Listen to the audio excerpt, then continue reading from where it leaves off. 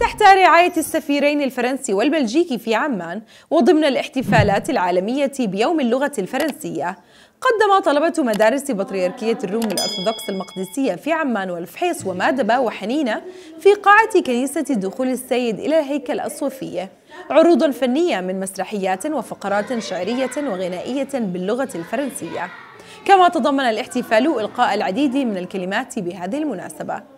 حضر العرض عدد من الآباء الكهنة ومندوبون من السفارات الرومانية والفرنسية واللبنانية بالإضافة إلى عدد من الشخصيات الرسمية والتربوية وذوي الطلبة المشاركين. إحنا بنعلم اللغة الفرنسية في عدد من مدارسنا في المحافظات في مادبة في حنينة في الفحيص وفي عمان.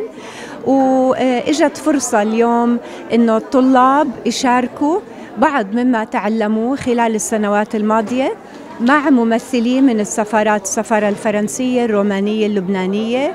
آه، آه، مثل هاي الفرص بتعطينا حافز إنه إحنا نكمل نستمر لأنه هي نافذة آه، لطلابنا وفرصة إنهم يتواصلوا مع الثقافات الثانية يتعلموا يختلطوا بالشعوب الثانية. وهي بتثري طبعا حضارتنا بتثري خبرات الطلاب فإحنا بنأمل أنه يكون في مثل هيك تواصل وعلاقات قادمة مع كل السفارات الفرنكوفونية حتى يقدروا الطلاب يتحدثوا ويحاوروا يعرضوا كل تجاربهم. ونستفيد كمان من خبراتهم آه، تبادل ثقافات حوار فهذا كله بيجي بثري زي ما حكيت خبراتنا وتجاربنا في المدارس.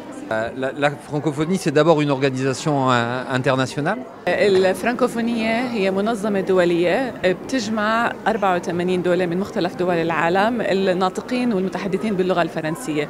كل سنة بالعشرين من شهر أذار بتحتفل هاي المنظمة بالإضافة لجميع هاي الدول بأيام الفرنكوفونية. وبهاي المناسبة بتقوم السفارات والمعاهد الفرنسية بتنظيم فعاليات في للاحتفال باللغة الفرنسية. من ضمن هاي الفعاليات بنظم المعهد الفرنسي مثلا عندك حفلات موسيقية أو أفلام بالإضافة لزيارات زيارات للمدارس للجامعات.